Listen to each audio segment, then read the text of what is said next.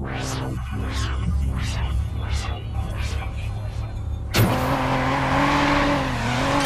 that was one hell of a run, my friend.